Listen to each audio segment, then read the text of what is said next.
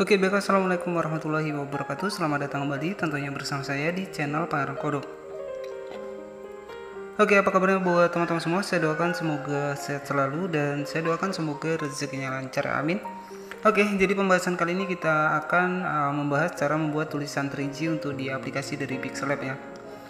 Oke jadi jika teman-teman baru uh, install untuk aplikasinya di sini kita langsung saja masuk ya Kemudian, uh, oke okay, ketika kita baru menginstal, biasanya akan ada menu seperti ini. Silahkan klik saja di bagian izinkan. Oke, okay, dan untuk latarnya teman-teman bisa disesuaikan saja ya. Jadi di sini banyak sekali latar yang bisa teman-teman gunakan ya di bagian bawah di sini. Oke, okay, ataupun teman-teman bisa menggunakan latar sendiri. Caranya tinggal kita klik saya di bagian tanda plus. Kemudian di sini kita pilih di bagian from gallery, kemudian kita ambil saja uh, foto yang ingin kita buat jadi latar. Oke, seperti ini. Oke, setelah seperti ini untuk menambahkan teksnya, teman-teman tinggal klik saja di bagian bagian tanda plus di sebelah kiri atas. Kemudian di sini kita pilih saja di bagian teks ya. Oke, seperti ini. Kemudian tinggal kita klik saja di bagian setelah muncul teks seperti ini, kita klik di bagian logo pensil, teman-teman.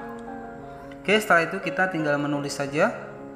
Dan di sini hanya sebagai contoh saja, misalkan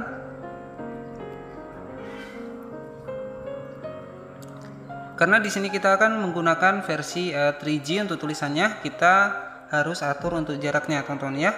Nah, oke seperti ini.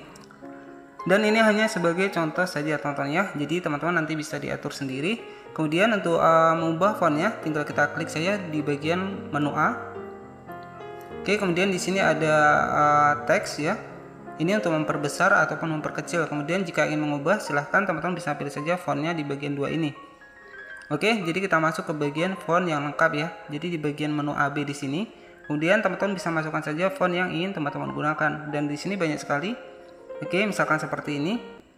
Kemudian jika ingin memperbesar silahkan klik saja bagian teks ini ya. Oke, kita perbesar seperti ini dengan cara kita geser ke sebelah kanan. Cara membuat uh, warnanya tinggal kita klik di bagian color. Dan kemudian tinggal kita pilih saja untuk warnanya, kita bisa sesuaikan Oke, misalkan di sini kita tambahkan yang cerah terlebih dahulu ya, warna kuning. Oke, seperti ini ya. Jadi jika teman-teman ingin uh, menggabungkan warna bisa masuk ke bagian stroke. Dan di sini teman-teman bisa ditambahkan misalkan warna kuning kita ingin tambahkan warna apa ya? Oke, misalkan kita tambahkan warna merah ataupun warna hijau. Oke, seperti ini teman-teman ya.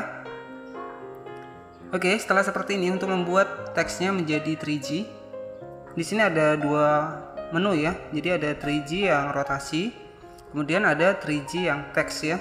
Oke, sebentar. Oke, di sini ada 3G yang rotasi, kemudian 3G yang teks ya. Jadi di sini kita pilih saja di bagian 3G teks ya. Oke, di sini kita atur saja untuk uh, tulisannya. Jadi di sini akan tertera ya Oke, jadi jika kita ingin melihat dari samping, silahkan klik saja di bagian 3G rotasi.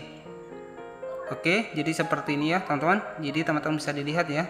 Jadi uh, tebal ya untuk tulisannya. Dan ini hanya sebagai contoh saja teman-teman ya. Oke, di sini coba kita atur warnanya agar lebih cerah ya.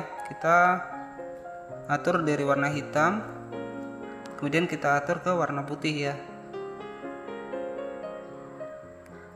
Oke, jadi seperti ini teman-teman ya. Jadi teman-teman bisa diatur saja untuk uh, menu 3G-nya. Teman-teman bisa disesuaikan. Oke, jadi tebal ya seperti ini. Oke, ini hanya sebagai contoh saja. Teman-teman sudah masukkan tuh teksnya. Silakan teman-teman bisa ganti saja di bagian 3G dan uh, 3G rotasi ya. Untuk mengubah teksnya menjadi 3G.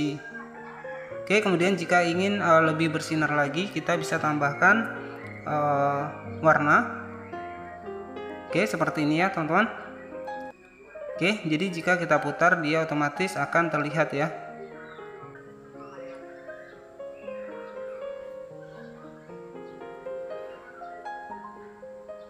Oke ya, jadi seperti ini saja. Jadi teman-teman bisa diatur saja menggunakan Pixel Lab ya.